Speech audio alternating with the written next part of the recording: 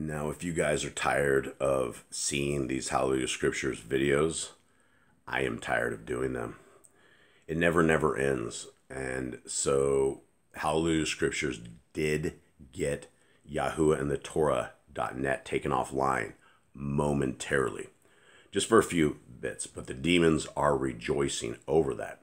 So we put up temporarily YahScriptures.online, right? So I'm going to take you into DMCA takedown attempt number 250. Now I'm sticking with this number 250 because I think it's actually far over this.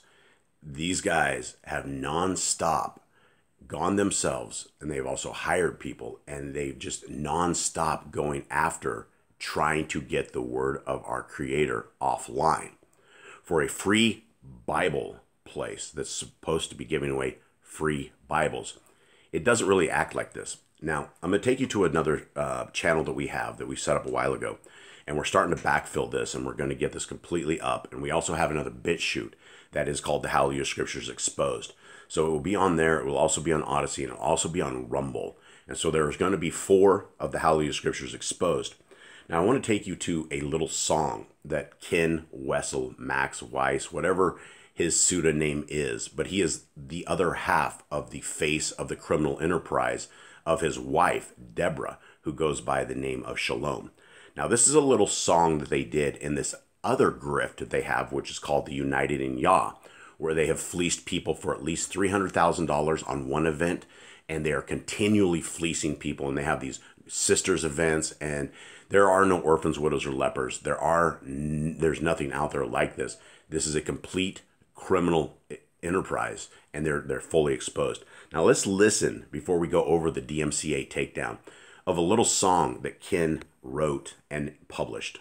All right, we do. This is not Maxine. This is Max. Sing us a song. We'll hunt for. We'll try to get. Okay. This. All right, go I'm going to sing my personal apology to Yahweh. Sorry, I never loved you. Never really seen you. I never really know. Sorry, I was a liar. The selfish things I'd done proved you never were number one. I'm sorry. Yeah, and it is over and over and over, and it continually shows that he is never the one um, when we go down this road. Now, let's take a quick look at this real quick. This is um, from this morning. This is from Cloudflare. And this is our DOS protection. And this is a brand new attack, right? This is a copyright takedown. And you have the copyright number up the top. And you have the reporter's name, Max Weiss, VT at vaintraditions.com. That is another one of their book selling organizations and their book Vain Traditions.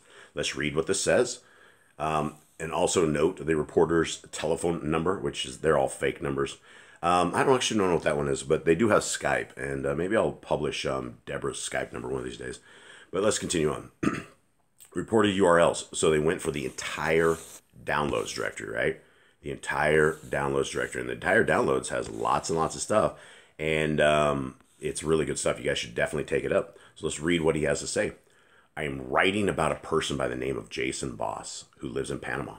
He has copyright he has my copyrighted book on his new website called Vain Traditions. His last website was removed as he was violating copyright of a number of books and one of them was Mind. Okay? So this is how you know this is probably Deborah that's writing this because she has a third grade education and she writes as a third grader. And so you can see 13 years of crime in a very uneducated state. And so you can always see that it sounds just like her. I do not offer anyone a PDF of my book.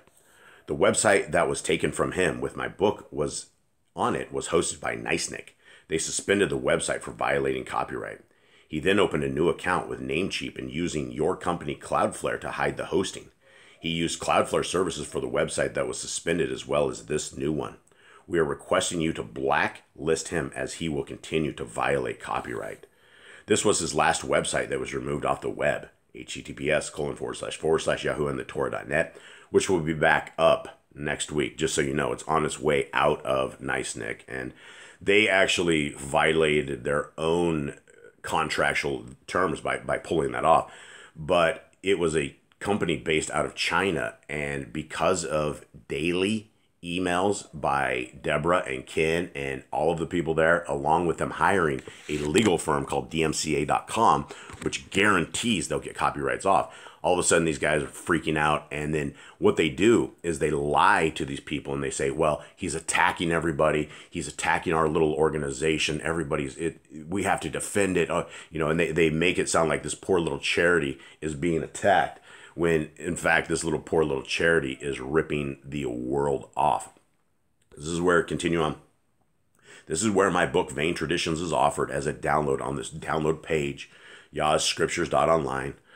Please, can you remove this website and content as direct violation and abuse of my works? And he is mocking me and others who have worked hard for years to write our books. Thank you, Max Weiss. We have forwarded your, this complaint to your hosting provider. Thanks, the Cloudflare team. Um, so there it is again, right? These people are never ending liars. They do not own a copyright. Guys, there's no copyright on anything. They own one single copyright on the Book of Jubilees. That's it. They own a copyright. They don't own a copyright on the actual HalleluYAH scriptures. They don't own it on any of the books that they have plagiarized and stolen and put up there. They own none of this. And so, guys, share this around. Share this to people you know. The only way that we are going to get these people to stop is by stop sending them cash.